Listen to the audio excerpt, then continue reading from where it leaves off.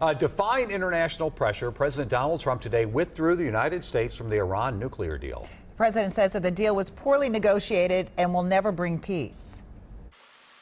President Trump is making good on a campaign promise, announcing this afternoon he's tearing up the deal restricting Iran's nuclear program. The fact is, this was a horrible, one sided deal that should have never, ever been made. The president laid out some of the reasons he's walking away from the 2015 agreement the U.S. and other world powers brokered with Iran. Not only does the deal fail to halt Iran's nuclear ambitions, but it also fails to address the regime's development of ballistic missiles that could deliver nuclear warheads. The U.S. is reimposing punishing sanctions that were waived because Iran has been complying with the deal. If the regime continues its nuclear aspirations, it will have bigger problems than it has ever had before. British, French, and German leaders all tried to persuade the U.S. to stay in the deal with recent trips to the White House to lobby President Trump.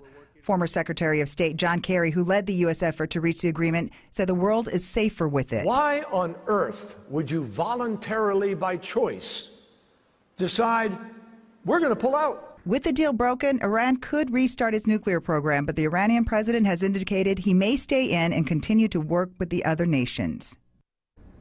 And former President Barack Obama called the Iran decision a serious mistake and warns that it will erode America's global credibility.